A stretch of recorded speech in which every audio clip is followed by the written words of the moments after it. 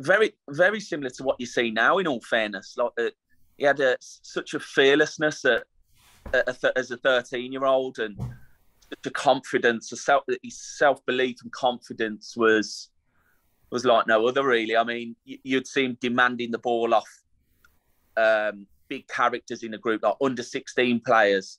You didn't normally, you wouldn't normally see that from a young lad coming into the into the group. He, they'd be quite timid and and reserved, but Jude was so demanding. He was that desperate to win the game and be the best player on the pitch, even at such a young age. He, he would, he wouldn't, he wouldn't, wouldn't matter to him what age group he was with or who was who was around him. He would still be that demanding youngster that that we that we see now, you know, and and that was just his desire to be the best player there was on the pitch.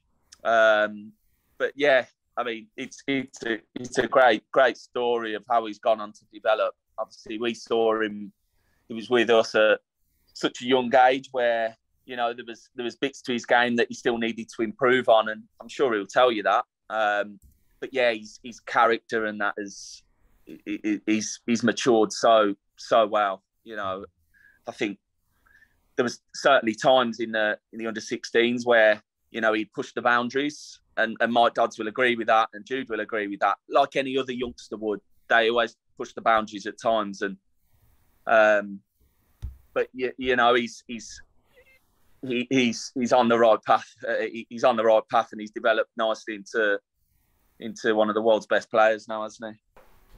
No, you, are probably right in saying that. I, as far as I can remember, obviously going back to Jude as the 13 year old and being in the the 16s. I, I don't think there has been too many difficult times for him. Uh, you know, but that that's the thing with him.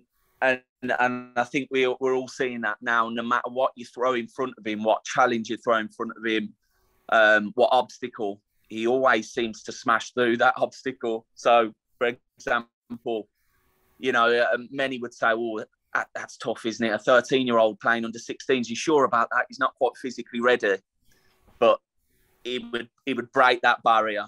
Then it would be the next one, under 18s football.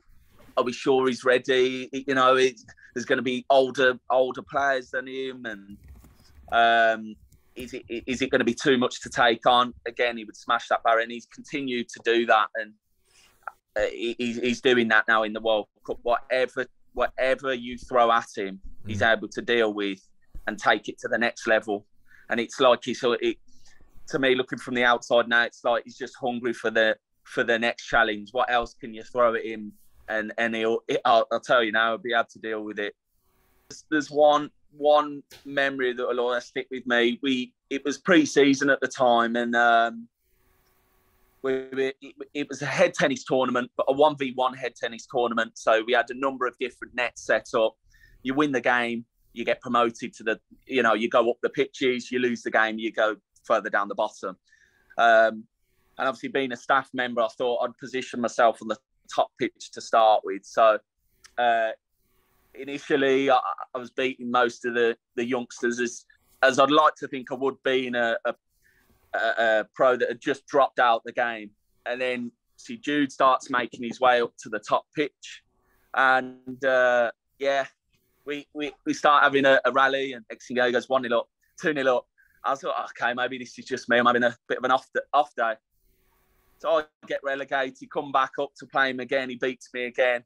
Get relegated, come back up, beats me again. So he, I think he beat me like three times in a row, and he was crowned the the head tennis king for that particular day. But I don't think anyone else will remember it. But I certainly haven't forgot it. And uh, the last time we met up, uh, when we went for food, there was there was Jude and his brother Job and a number of the staff. I, I did say to Jude, I went, I'm I'm waiting for that rematch to to hopefully get my own back. But I, I, think the way things are looking, I don't think I stand no chance. If I couldn't beat a 13 year old Jude Bellingham, I definitely can't beat the Jude Bellingham that we see now. Yeah.